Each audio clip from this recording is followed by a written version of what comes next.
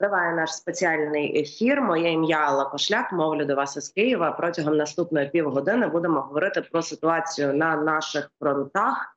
І е, власне для цього до розмови я запрошую нашого наступного експерта, керівник центру військово-правових досліджень Олександр Мусієнко.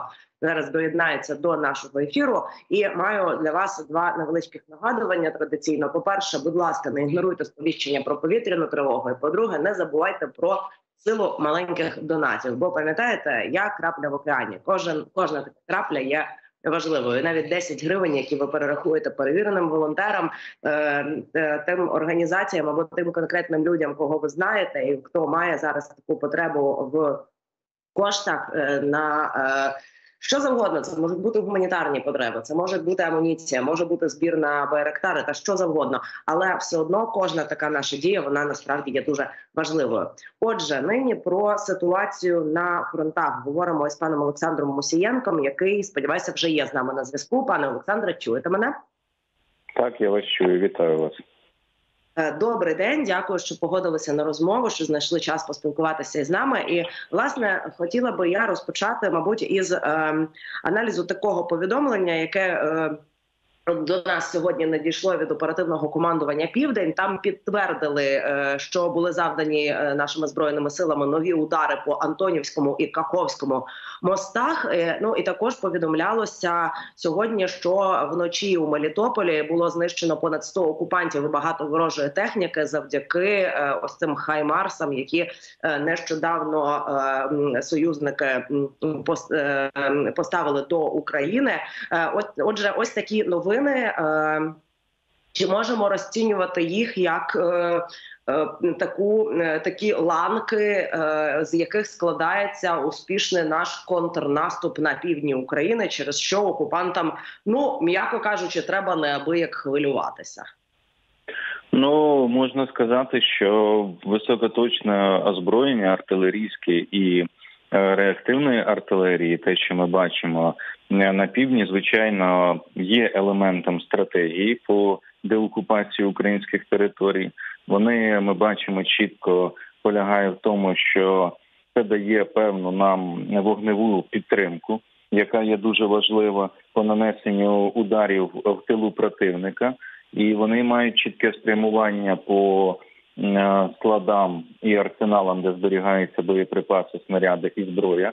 Крім того, на руйнуванні логістичних шляхів забезпечення російських сил, ну і знищення систем протиповітряної оборони, аби відкривати місце і простір для української авіації безпілотників для нанесення так само високоточних е, і болючих ударів по позиціям ворога.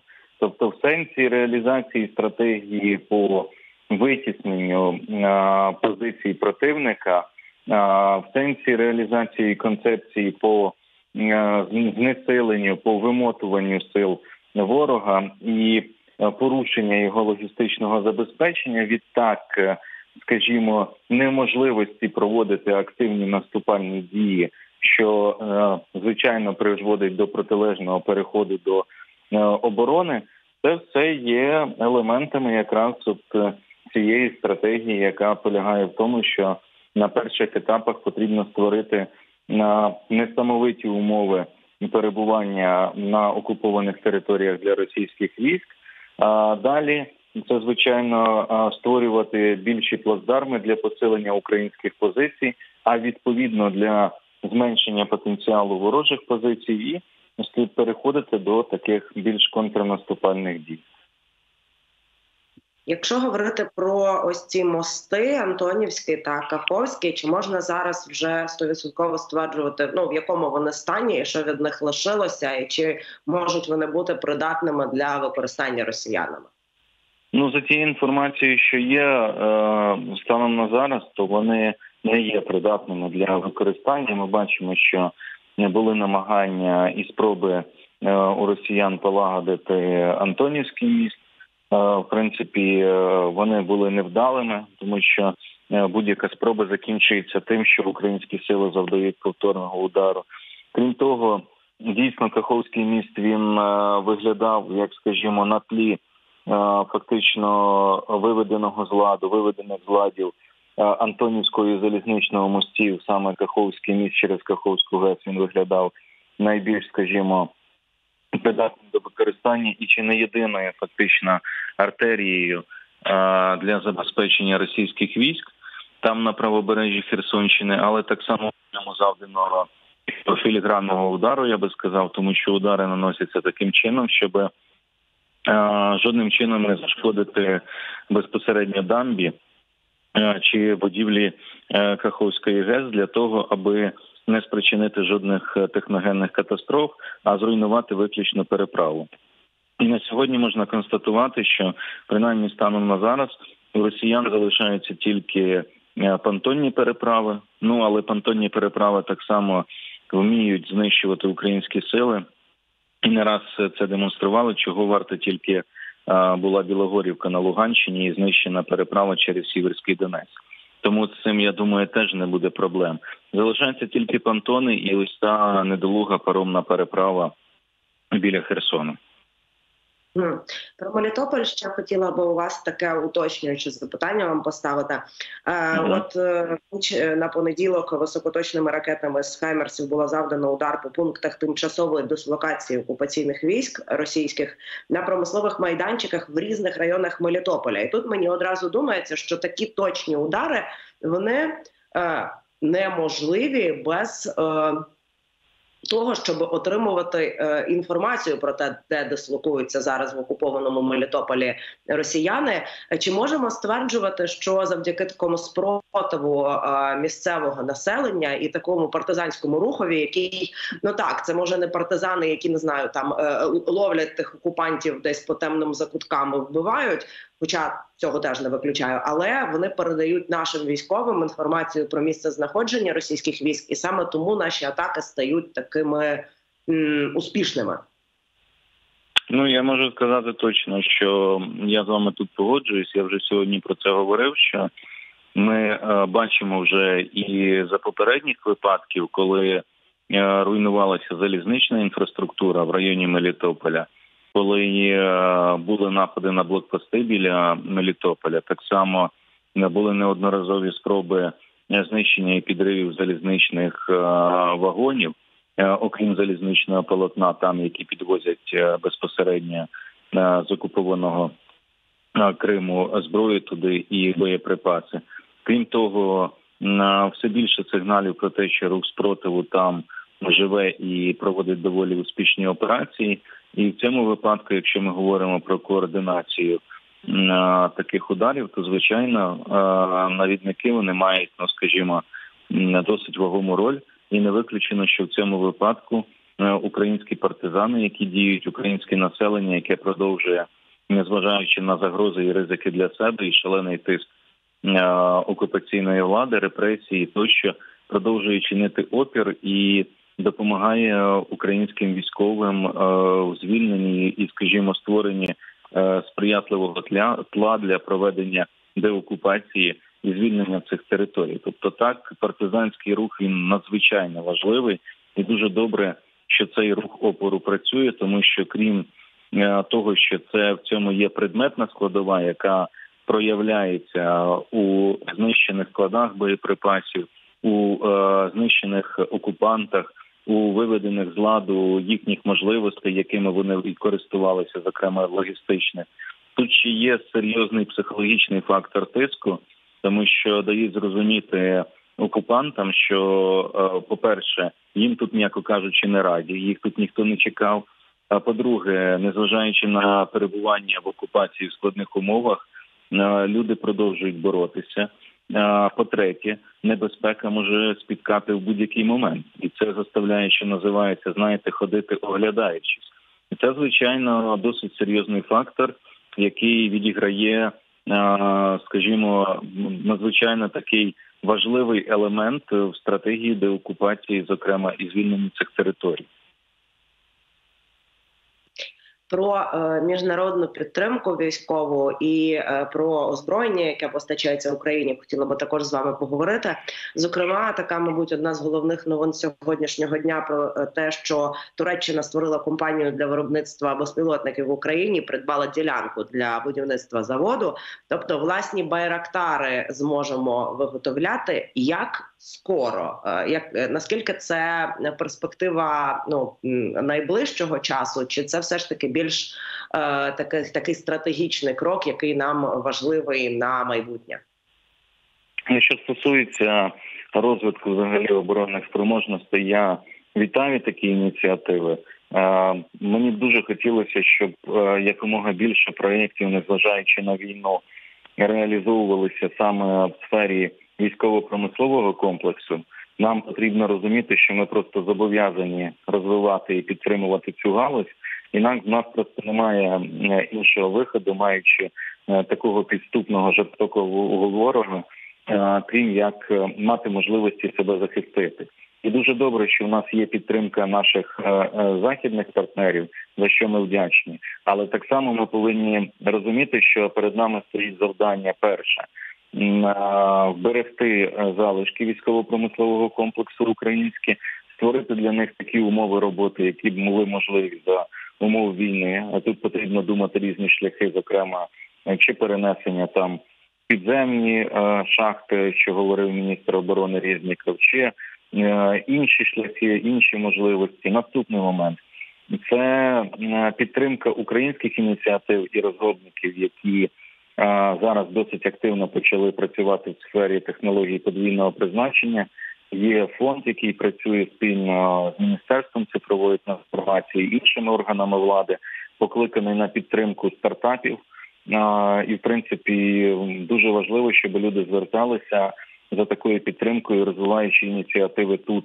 І наступний момент це звичайно спільне виробництво зброї, це кооперація в сфері військово-промислового комплексу.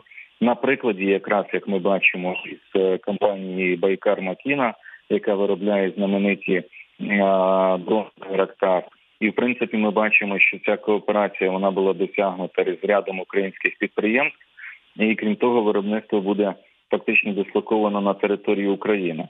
Ну мені здається, що це досить важливий сигнал, і іншим нашим партнерам, що з Україною, навіть незважаючи на те, що йде повномасштабна військова агресія Росії, можна і потрібно мати справу що в нас є компанії, які здатні працювати і виробляти озброєння, в тому числі спільно, і тут дуже важлива зараз підтримка наших партнерів, от якраз саме в спільному виробництві і в спільній діяльності, тому що ми розуміємо війна, ми розуміємо, що завжди об'єднання зусиль це добре і так функціонує в принципі військово-промисловий комплекс по світу сьогодні скажімо, е, співпраця вона досить важлива навіть е, провідних компаній, які працюють. Тому, якщо ми хочемо знаєте, переймати досвід Ізраїлю, як у нас досить часто кажуть, він полягає не тільки в системі оборони, він полягає і в розвитку і підтримки військово-промислового комплексу,